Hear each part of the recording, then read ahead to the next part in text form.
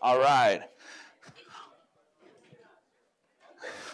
Um, is anybody hungry? I was told last night we didn't serve enough food yesterday. So we're going to have an extra meal added to the day. No? Extra meals? we're going to have a we're going to have breakfast and then brunch and then lunch and then dinner and then dinner. Okay? We're to squeeze five meals in. All right, so uh, uh, who plans to take an Uber to the airport today? All right. Uh, from what we understand, Uber is going to be striking in Atlanta from noon till midnight. Um, you're lucky because uh, it really doesn't matter. We're going to um, have directions for you guys if you uh, go on your Uber app um, and you find that Uber is uh, too expensive, if there's a big spike. I, any Atlanta people know about what it should cost to go from here to the airport? How much did it cost you to get here? I, $25. Okay. I guess I was going to say I could pull up my app and look. Um, so if, it, if it's in the 20 five dollar range and that's what you paid to get here that's what you know um, for those that want to save some money uh, the marta um, is very close to here um, so it'll take you my guess my guess would say it'll take you an hour to go from door to door on the marta so just from a timing perspective here walking to the marta waiting for the train, taking it from here. Um, it's the very, very last stop, so you can't really miss it. And then you get off, and you're basically in the in the um, um, you know ticket check-in area. Uh, so it's like a solid hour. Now, if you're taking a car, it could take you an hour. So uh, that's just Atlanta traffic. So um, just as something to kind of think about, uh, Caroline, we know where the MARTA stations are. Okay, awesome. Um, but there, I mean, we're in Midtown, so there's probably one or two within a block or two each direction. So, um, yeah, yeah, it's Uber and Lyft. Basically, uh, they they believe that um, the the story I heard last night was that uh, Uber's going public. They're expected to make like ninety billion dollars or something like that, um, and all the Uber drivers feel like they're getting screwed because, and they put in their public filing that their biggest risk of their business was drivers striking. um, I don't know. To tell you the truth, not that I should give a political um, speech, but almost every Uber driver that I've talked to and I've asked about their Uber or their Lyft business tells me like how blessed they feel they are because of the service and how happy they are in the business that they do. But I mean, if that helps them earn a couple extra dollars, so be it, right? Um, that's something for for Uber and Lyft to figure out, not us. Uh, but I just want to make sure you understood how it might impact your business. Um, if you didn't get one of our little coffee mugs, grab one uh, today. Anything left goes to the office and they get really excited. If you didn't get a pair of socks, um, we have plenty. So if you want to uh, have these be your permanent wardrobe, um, please feel free to take more than one. Um, let's see. All right. So awesome conversation. Did anyone see the magician last night? Yeah, awesome. Good. He earned his money. That was enough of you. Uh, we're the winners from trivia. The cheater. I mean, the winners. Okay, I'm pretty sure Jerry goes. I know the answer to this one, and then he got it wrong because it was probably the one they didn't look up. Um, if you guys ever play bar trivia for real, understand that they will kick you out of the bar. Uh, okay, so honest, be honest now, because we know that the, the, the that group looked a few things up and they still won, and I didn't really care. Who cheated? only two of you. Only two of you are going to admit to three, four. Did the team? Did the team in last place not look anything up because they should have. They should have. The team in last place should have looked something up, right? All right, awesome. Well, um, we thank Amazon for um, for for co-hosting that dinner with us. Um, we've had a great relationship with Amazon for a number of years, and um, and and and we were happy that that they were um, you know willing and able to uh, to sponsor and co-host that dinner. So. Today our content is going to uh, take a different turn. So yesterday we we really heavily focused on traffic. Um, started the day with a little bit of mindset, understanding how to how businesses grow from a both a um, a structural perspective as well as a, a financial perspective.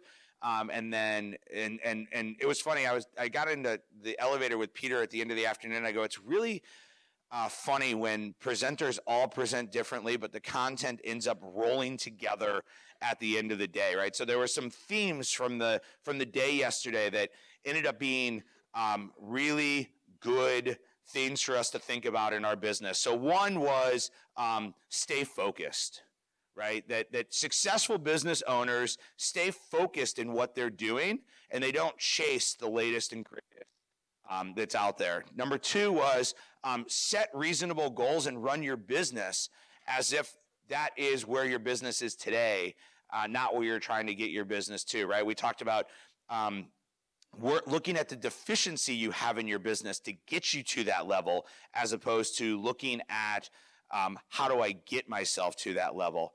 Um, we really got ourselves into this idea of how do we build our teams. Um, how do we start to figure out what we do best and what we should have other people doing and how we kind of take that off of our plate and put that onto somebody else's. Um, we talked a lot about levers, a lot about levers yesterday. And anytime we talk about driving traffic to our listing, we're talking about levers. So we talked about um, all the levers that Vermont Teddy Bear runs. Um, and then we looked at some of those specific levers with YouTube and um, Amazon advertising and Google and such. And uh, so, how many of you went home and implemented something last night? Awesome. Anybody want to share what they implemented? Yeah. Um, I signed up for Ignite last night to test it. ROI. ROI. Anybody else implement anything that they want to share? Uh, I started to sign up for the brand registry. Awesome. Uh, this kid's 15 years old and he runs his own Amazon business. If you haven't, if you haven't talked to him, it was actually quite an amazing conversation you and I had last night. Is your dad here? No, you you ditched your dad today. Good. Um, uh, his goal is not to i mean it's like it's really cool to find out what each pe- person in this room's goal is. Like his goal is to figure out how to run amazon so he can scale it by acquiring amazon businesses. Thomas did you hear that? He's the one who sells the businesses. So like it, we all have different goals in how we want to grow and run our business. So uh, great brand registry. Yeah we talked about that. Anybody else implement anything last night that they want to share? No Nobody has the super secret sauce. Yeah, Mark. I, I signed up for uh, Google Actions. Oh yeah, Mark signed up for Google Actions, and him and I talked about that for a little bit. And and the you know I don't know what it is, but I want to be part of something at the early stages because one of the things that I have seen when we talk about easy buttons, one of the things that I've seen is that if you get into some of those type of things early, you usually get really cheap traffic.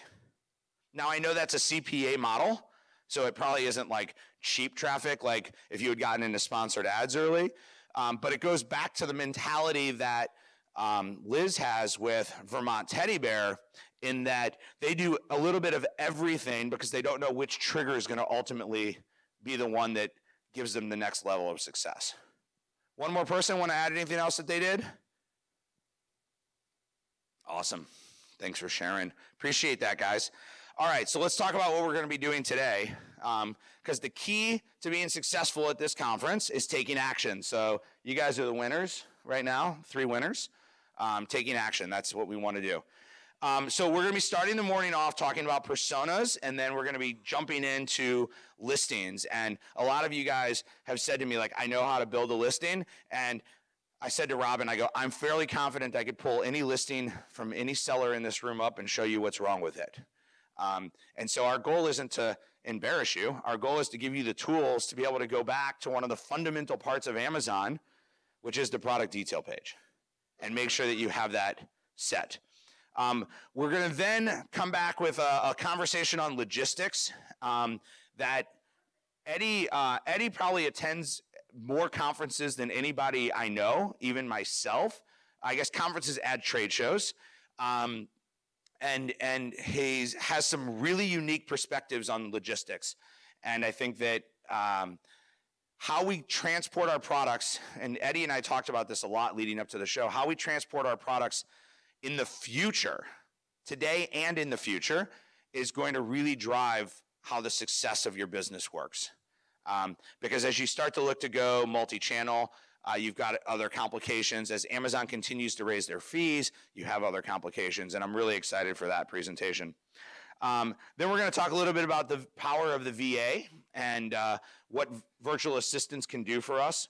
Coming back from lunch, we're going to talk about managing cash flow, books, and preparing your business for sale. Um, this was actually requested from our last conference was some information about accounting. So this is where you bring all your questions. It's going to be a panel discussion um, on what it, what do people look for when they want to buy a business? What do people what are people doing wrong when they look to sell their business? Um, then we're going to talk about strategic partnerships. Aaron uh, works with major Fortune 500 companies all the way down to you know startups and helping them get connected with consultants and partners. Uh, he's seen a lot of these relationships, and he's going to talk about how do you know if the partner you're working with is the right partner for your business? How do you vet them uh, when you're trying to find a new partner for your business? Then we're going to jump into uh, driving the speed limit with TOS compliance with Cindy from Seller Labs. And then we're going to jump into financing your business with uh, Vicky from Payability.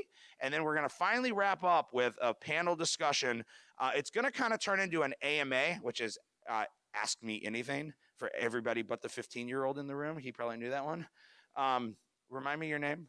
Remind me your name. Everett. I don't want to keep calling him the 15 year old. I'll call him Everett. Treat him the same as all of us, right? Because he's got a successful business too. Um, the AMA is going to really focus on this idea of what did we do in 2018 that doesn't work anymore? Um, what are we what are we doing? What do we need to be doing different in 2019? And uh, then you guys can go and uh, try to catch your Uber that won't come. Sound good? Um, I did realize yesterday a few of you came up and asked who I was, so I realized I never introduced myself. Um, my name is Jeff Cohen. Uh, I am the chief uh, relationship officer for Seller Labs. I do speak at a lot of conferences, which is probably why I made the assumption that you guys knew who I was. Um, and I have been kind of, I guess, for lack of a better term, the face and the voice of Seller Labs for the last five years. Um, but what we have been doing at Seller Labs is really working to put some additional faces and voices out in the marketplace so that you guys kind of see all of the amazing people we have at the office um, who are who are doing things. So before I introduce Molly, um, I want to give one last round of applause for Caroline because she wasn't in the room yesterday.